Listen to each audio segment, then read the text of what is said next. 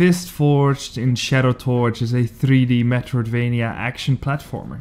You play as a rabbit with mechanical enhancements, which allow you to switch between weapons and string together different combos in order to defeat your enemies.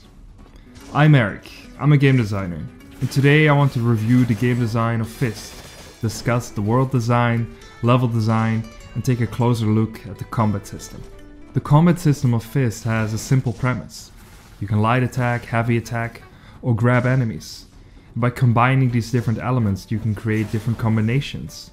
But there's hidden depth behind the system. You can switch out your weapons mid-combo to chain together a different string of attacks.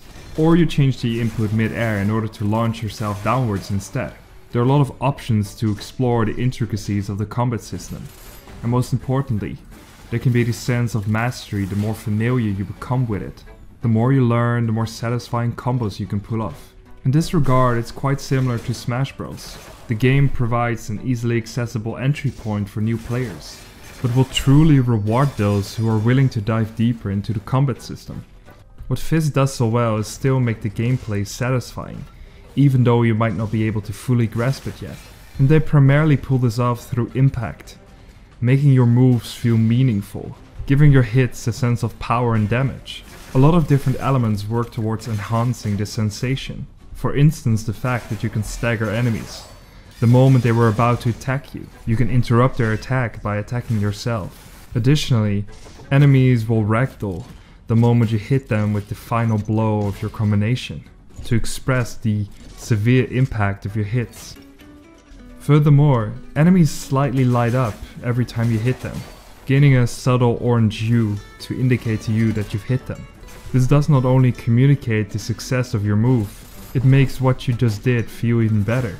Seeing a couple of enemies turn into a light show when you continuously hit them with your chainsaw is an immediate feedback mechanism which makes it feel so much more impactful.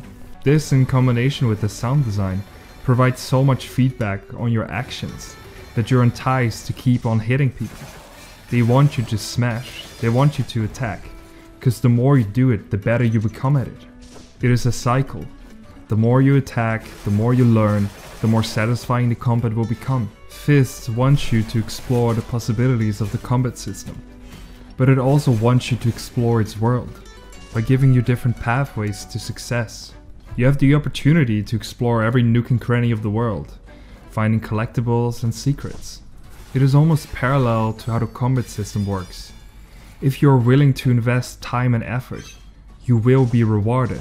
They are indirectly teaching you this with the level design. They are trying to push you and motivate you to explore the possibilities in combat by providing positive reinforcement for exploration in the world. A lot of side-scrolling games, including elements of combat and platforming, are usually 2D, but Fist breaks this convention. It is fully 3D, and what this does is add so much depth and sense of scale to the experience.